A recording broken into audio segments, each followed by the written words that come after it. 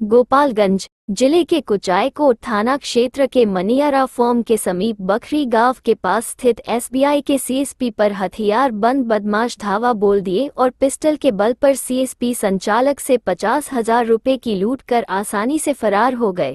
फ़िलहाल घटना की सूचना पाकर मौके पर पहुँची पुलिस ने मामले की जाँच पड़ताल में जुट गई है। वहीं विभिन्न जगह लगाए गए सीसीटीवी कैमरे को खंगाला जा रहा है। दरअसल जादोपुर थाना क्षेत्र के चतुर्बगहा गाँव निवासी उदय शंकर यादव के बेटा सुजीत कुमार कुचायकोट थाना क्षेत्र के मनियारा फॉर्म के समीप बखरी गाँव में एसबीआई का सीएसपी चलाता था। इसी बीच बुधवार को दो बाइक पर चार की संख्या में सवार बदमाश पहुँचे और गन प्वाइंट पर बेखौफ अपराधियों ने सीएसपी संचालक से पचास हज़ार रुपये लूट लिया। वही अपराधियों ने सीएसपी कर्मी मिथिलेश कुमार के साथ मारपीट भी की। वहीं इस घटना की सूचना मिलते ही मौके पर पहुँची पुलिस मामले की जाँच में जुट गई है। प्रशिक्षु डीएसपी सह कुचायकोट थानाध्यक्ष साक्षी राय ने बताया कि पचास हज़ार की लूट हुई है, मामले की जाँच की जा रही है। आसपास लगे सीसीटीवी कैमरे को खंगाला जा रहा है। बहुत जल्द सभी अपराधियों को गिरफ़्तार कर लिया जाएगा।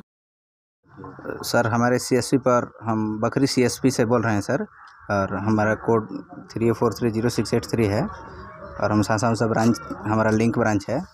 हम अपने सी पर काम कर रहे थे। उसी वक्त पाँच आदमी आए, दो बाइक से और उतर कर वो लोग अपना मुँह बांधे हुए थे। एक बाइक अंदर घुस गए और मारपीट किए और सीसीटीवी कैमरा फोड़ दिए, लैपटॉप फोड़ दिए और पैसा था पचास हज़ार वो लोग लूट लिए और लेकर तुरंत भागे, सर। वहाँ पर लोग बहुत कम था, लेडीज़ थी चार पाँच। सुरक्षा के लिहाज से कुछ रखे थे वहाँ पे? हम लोग हॉकी वॉकी रखे थे सर लेकिन वो लोग गन लिया था तीनों गन था उन लोगों के पास इसलिए हम लोग कुछ कर नहीं पाए सर।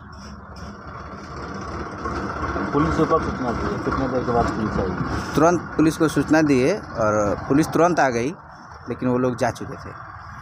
क्या नाम थे नहीं सर फायर नहीं किए थे। मारपीट भी किए? जी सर। तो हमारे एक स्टाफ हैं उनको मार दिए सर। उनका सर फूट गया है। हमारा उनका नाम? आपका नाम? सुजीत कुमार।